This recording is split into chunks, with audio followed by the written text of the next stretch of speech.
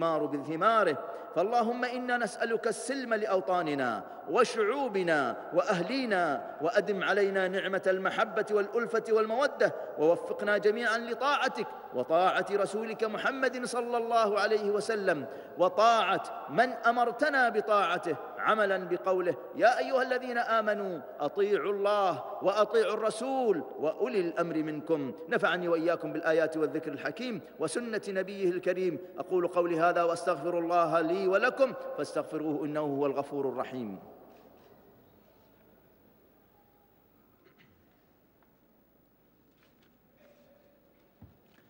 الله أكبر الله أكبر الله أكبر الله أكبر الله أكبر الله أكبر الله أكبر.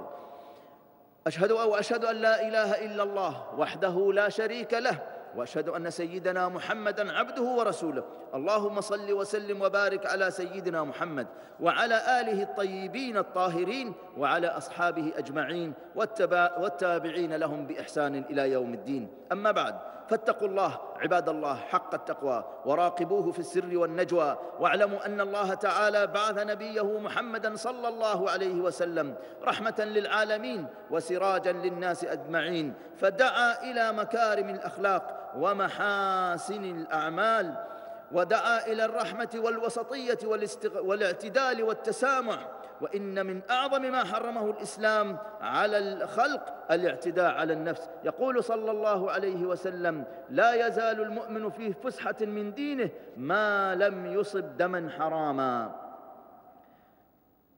وهو سبب لحلول الندم والشقاء والخسران. يقول تعالى في قصة ابني آدم فطوعت له نفسه قتل أخيه فقتله فأصبح من النادمين. هذا وصلوا وسلموا على من أمرتم بالصلاة والسلام عليه.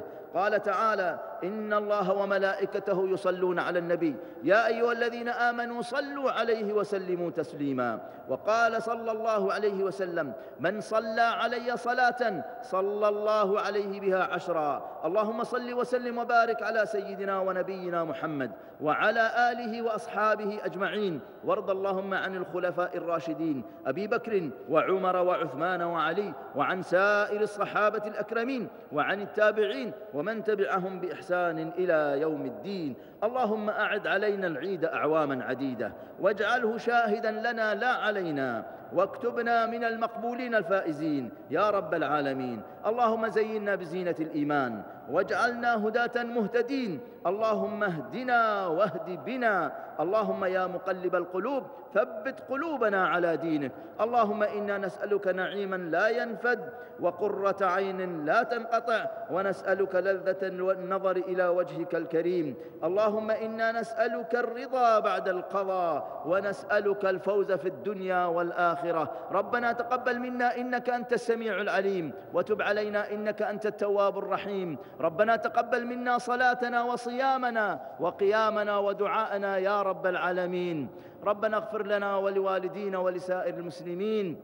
اللهم اغفر للمؤمنين والمؤمنات والمسلمين والمسلمات الأحياء منهم والأموات. إنك سميع قريب مجيب الدعوات. يا قاضي الحاجات ويا غافر السيئات برحمتك يا أرحم الراحمين. اللهم اغفر لنا واغفر للشيخ زايد. اللهم اغفر لنا واغفر للشيخ زايد. اللهم اغفر للشيخ زايد والشيخ راشد. واغفر للشيخ مكتوم وحكام الإمارات. واجعل ما فعلوه ميزان حسناتهم. ووفق رئيس الدولة لما تحبه وترضاه. ونائبه لما تحبه وترضاه. اللهم اجعلهما موفقين مسددين في جميع أمورهما لخدمة الإسلام والمسلمين. وكل عام وأنتم بخير. والحمد لله رب العالمين.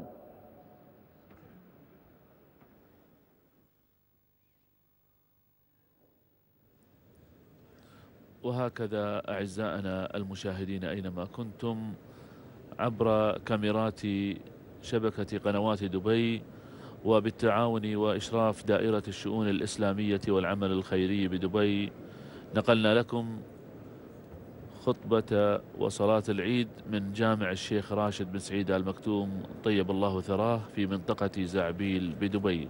الله أكبر الله أكبر الله أكبر. لا إله إلا الله الله أكبر الله أكبر الله أكبر ولله الحمد. وهكذا يغادر صاحب السمو الشيخ محمد بن راشد آل مكتوم. نائب رئيس الدولة رئيس مجلس الوزراء حاكم دبي. رعاه الله.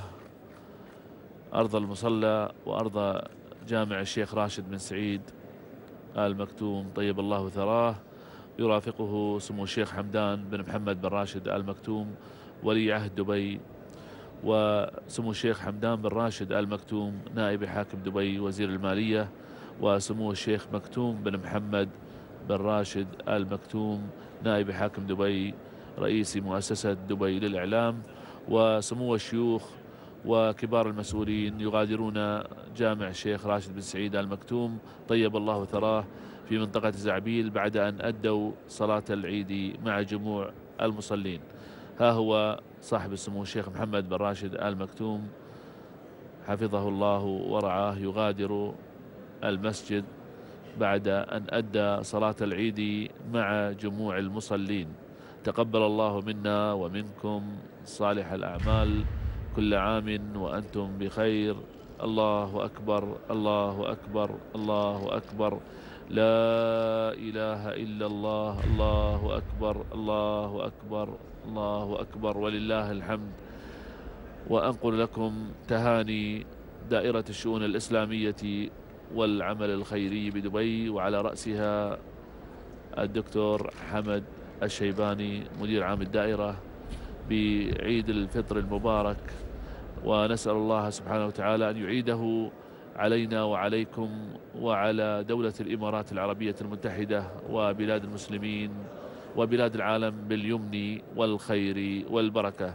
تقبل الله منا ومنكم صالح الأعمال. هذه تحيات أسرة النقل الخارجي بشبكة قنوات دبي والمخرج محمد النجفي ومحدثكم أحمد الزاهد. كل عام وأنتم بخير والسلام عليكم ورحمة الله وبركاته.